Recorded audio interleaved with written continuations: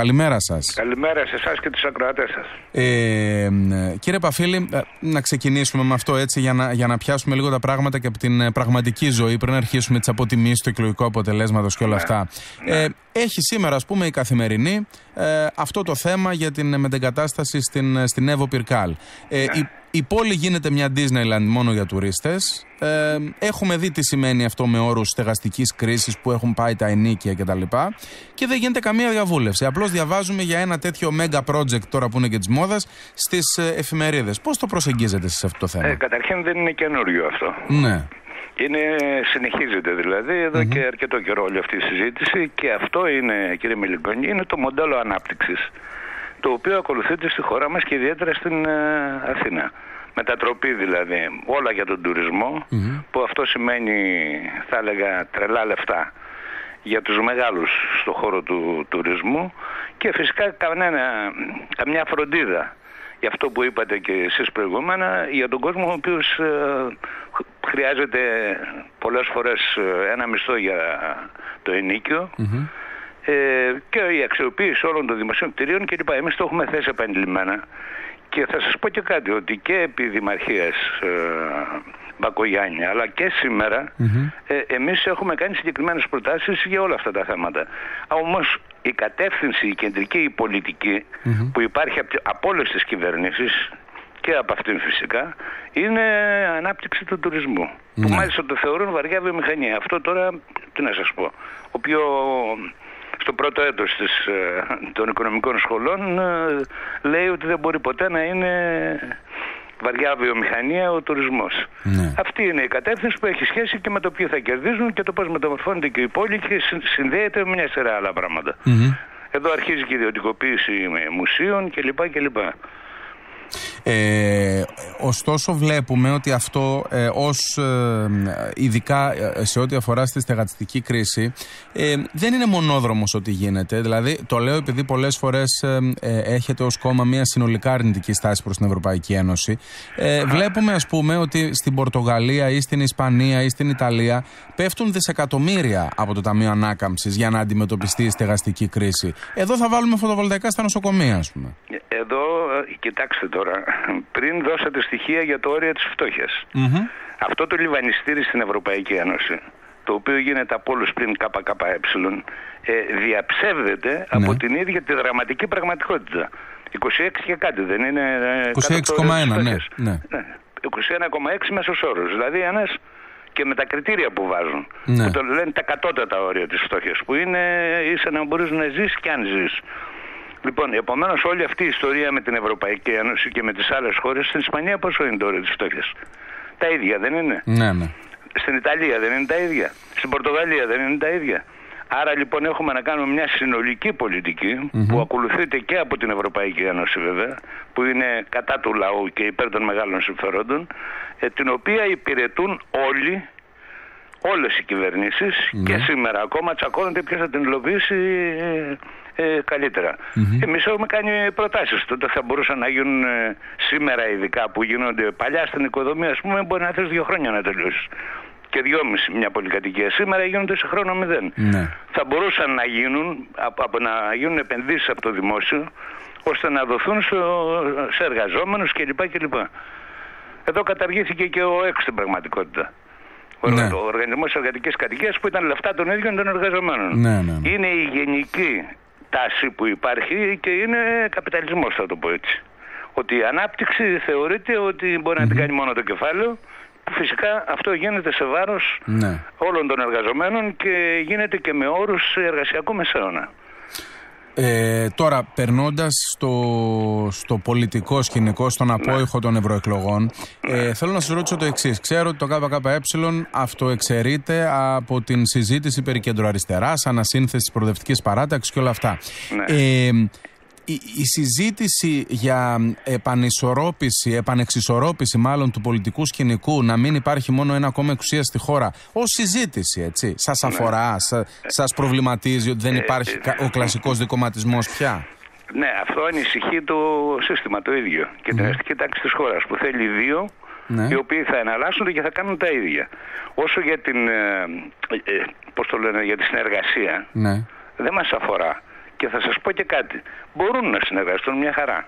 Με τη Νέα και το Πασόκ και ο ΣΥΡΙΖΑ. Και η Νέα Αριστερά. Θα μου πείτε αυτό είναι ε, παράξενο, δεν μπορεί να γίνει. Πώς δεν μπορεί να γίνει; Όταν έχεις 91-93% των αποφάσεων του Ευρωκοινοβουλίου να ψηφίζει το Πασόκ και 70% ο ΣΥΡΙΖΑ, που, που σημαίνει ότι αυτά καθορίζουν και την πολιτική στην Ελλάδα, βέβαια που την υλοποιεί κυβέρνηση. Ε, όταν έχεις στη Βουλή στα προηγούμενα χρόνια και τώρα μάλλον θα σπάσουν και ρεκόρ για το, για το επόμενο διάστημα. Όταν έχεις γύρω στο 70% να ψηφίζονται τα νομοσχέδια της Νέας αυτό αντικειμενικά, για να θα πω και κάτι άλλο ακόμα, αντικειμενικά, μπορεί να υπάρχει συνεργασία. Αυτό δεν συμφέρει. Θέλουν δύο κόμματα με την ίδια πολιτική που θα καυγαδίζουν για τις ε, καρέκλες. Και ξέρετε, θα σας πω και κάτι ακόμα που μπορεί να σας αρέσει κιόλας. Για σκεφτείτε την κριτική στη Νέα Δημοκρατία που ναι. έκανε και ο ΣΥΡΙΖΑ και ο βελοπουλος Και το Πασόκ σε έναν βαθμό. Ότι ναι. πλέον δεν είναι η καραμαλική Νέα Δημοκρατία, ότι έχει ακροδεξιά στοιχεία κλπ. κλπ. Δηλαδή αυτό αυτόματα δεν δημιουργεί ε, το, τη σκέψη ότι θα μπορούσαν όλοι μαζί να κάνουν ένα μέτωπο και αυτήν την άλλη μεριά να είμαστε εμείς και όσοι άλλοι είναι αντίθετοι με, την, ε, με το ίδιο το σύστημα και με την ίδια την Ευρωπαϊκή Ένωση. Ναι. Αυτή είναι η πραγματικότητα. Δηλαδή οι διαφορές που έχουν δεν είναι στρατηγικές. Την ίδια πολιτική ακολουθούν όλοι αυτά τα χρόνια, η οποία πολιτική έχει τσακίσει κυριολεκτικά τον ε, ε, ελληνικό λαό. Mm-hmm. Επομένως εμάς αυτή η συζήτηση όχι μόνο δεν μας αφορά ναι. και αυτή η πορεία, Εμάς, ε, εμείς θέλουμε να δυναμώσει και αυτό σε έναν βαθμό ήρθε και με τα αποτελέσματα, τα οποία είναι μια άνοδος σταθερή του ΚΚΕ, μια σταθεροποίηση ενός ρεύματος αμφισβήτησης που είναι πολύ περισσότερο και δεν εκφράζεται πάντα στη, ε, στη Βουλή. Αυτό μας ενδιαφέρει να ενισχυθεί και επειδή άκουγα πριν και τον κύριο Σταθάκη να μιλάει για απο, αποδυνάμωση των θεσμών ε, των κοινωνικών, δηλαδή συνδικάτα, αγροτική ναι. σύλλογη κλπ. Μάλλον ε, δεν έχει καλή πληροφόρηση. Τι εννοείται; Ε, δηλαδή αγνοεί την πραγματικότητα. Αυτοί ποτέ δεν ασχολήθηκαν, αυτά τα κόμματα εξουσίας όπως λένε, ούτε θέλουν να δυναμώσει το, το εργατικό κίνημα, το αγροτικό κίνημα. Ποτέ δεν ενδιαφέρθηκαν. Παραπέμπουν πάντα στις κάλπες. Το ΚΚΕ σε αντίθεση με όλα αυτά όταν άρχισε και αυξάνονταν η δύναμή του, αυξάνονται και οι αγώνες και η συσπήρωση στα συνδικατα και η αλλαγή των συσχετισμών. Και δεν μπορώ να ακούω παραδείγματος χάρη για τους αγρότες. Τι να, τι να πούν για τους αγρότες. Όταν έχουν ψηφίσει την κοινή αγροτική πολιτική και τώρα πηγαίνουν να βγάλουν φωτογραφίες στα τρακτέρ τι, ε, τι, είναι γελίο δηλαδή. Επομένως ε, για μας έχει σημασία μεγάλη. Και είμαστε έτοιμοι και προχωράμε. Και δυνατά μάλιστα. Κοινή αγροτική πολιτική όμως δεν σημαίνει και ε, γενναίε επιδοτήσεις. Ε, αυτό φάνηκε από την πραγματικότητα. Που πάνε επιδοτήσεις και πώς έχουν φύγει από το χωραφι και σε τι αδιέξοδο βρίσκονται οι αγρότες, οι μικρομεσαίοι. Η κοινή αγροτική πολιτική έχει στόχο να διώξει τους μικρομεσαίους αγρότες και να γίνουν σύγχρονες μεγάλες καπιταλιστικές επιχειρήσεις. Για να μην το πω σύγχρονα τσιφλίγια γιατί δεν στέκει. Και σε, στην καλύτερη περίπτωση μπορεί να δουλεύουν ορισμένοι. Αυτό φαίνεται και το λένε και οι ίδιοι αγρότες. Mm-hmm. Και οι ίδιοι αγρότες που κατέβηκαν κατά της κοινή αγροτικής πολιτικής δεν είναι όλοι κομμουνιστές. Ναι. Εμείς ήμασταν στην πρώτη γραμμή. Οι άλλοι τι να πούν, αφού την ψήφισαν όλοι μαζί στην Ευρωπαϊκή Ένωση. Και ο Βελόπουλος που κάνει τον αντισυστημικό τώρα. Mm-hmm. Και ο οποίος λέει ότι είμαι έτοιμος να πω σε κυβέρνηση συνεργασίας. Άρα αυτό που αναζητείτε δεν είναι ε, να, να δημιουργηθεί ένας άλλος πόλος κλπ. Αυτός θα είναι αντιλαϊκός από χέρι. Και έχει αποδειχθεί και από την ίδια την, ε, την ιστορια Αλλά να συγκροτηθεί ένα ισχυρό κοινωνικό κίνημα με δυνατό ΚΚΕ και με άλλους ανθρώπους οι οποίοι βάζουν στην πάντα τέλος πάντων και την επιλογή που έκαναν ή και μετανιώνουν κιόλας ώστε να διεκδικήσει να σταματήσει γιατί θα έχουμε νέα επίθεση κύριε Μιλιγκόνη. Νέα μέτρα. Και ας αφήσουν αυτά τώρα αυτές τις εξυπνάδες που λένε. Θα έχουμε τα προαπαιτούμενα κι άλλα από το Ταμείο Ανάκαμψης. Θα έχουμε τα ματωμένα πλεονάσματα. Θα έχουμε την πολεμική βιομηχανία που θα την πληρώσει ο κόσμος. Και που είναι πέρα από την πολεμική, τη γενικότερη δίνουν και μια διέξοδο στην κρίση που υπάρχει για να γίνουν επενδύσεις. Και πιθανά θα έχουμε και νέα κρίση την οποία περιγράφουν όχι μόνο, περιγράφουμε όχι μόνο εμείς, αλλά και άλλοι αστεί οικονομολόγοι και αναλυτές. Τι χρειάζεται λοιπόν, πώς θα γίνει η αντιπαράθεση, με την ε, αντιπολίτευση, τη συμπολιτευόμενη αντιπολίτευση στη Βουλή ή με τους αγώνες να αναγκαστούν να υποχωρήσουν όπως αναγκάστηκαν σε πάρα πολλούς να υποχωρήσουν και κέρδισαν οι εργαζόμενοι από αυτούς τους αγώνες και με ένα ισχυρό κομμουνιστικό κόμμα που είναι στην πρώτη γραμμή με, με δυνάμωμα των ταξικών συνδικάτων, των αγροτικών συλλόγων, όλων των μορφών κοινωνικής οργάνωσης, όλων των τμήματων της κοινωνίας, ώστε να δημιουργηθεί ένα ρεύμα ανατροπής. Γιατί, να σας πω, κανένας δεν έχει άλλη πρόταση. Όλοι λένε ζήτω η Ευρωπαϊκή Ένωση. Όλοι υποσχέθηκαν λαγούς με πετραχίλια και χρυσά και τελικά, να το πω έτσι λαϊκά, ο λαός πήρε τα πετραχίλια και αυτοί πήραν τους λαγούς. Δηλαδή οι μεγάλες ε, επιχειρήσεις, τα μονοπόλια της Ευρωπαϊκής Ένωσης αλλά και της, ε, και της χώρας μας.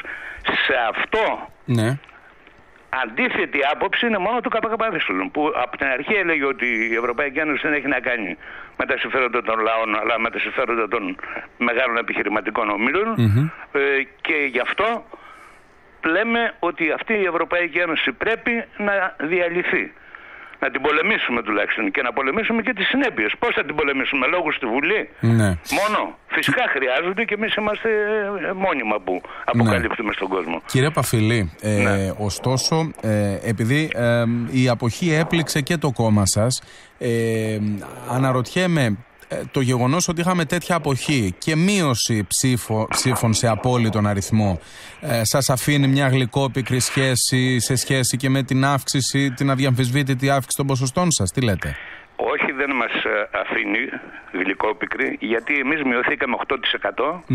Η Νέα Δημοκρατία 40%, ναι. ο ΣΥΡΙΖΑ 33% και τα ίδια και οι υπόλοιποι. Είχαμε δηλαδή τη λιγότερη απώλεια, είχαμε ναι. βέβαια και από την αποχή.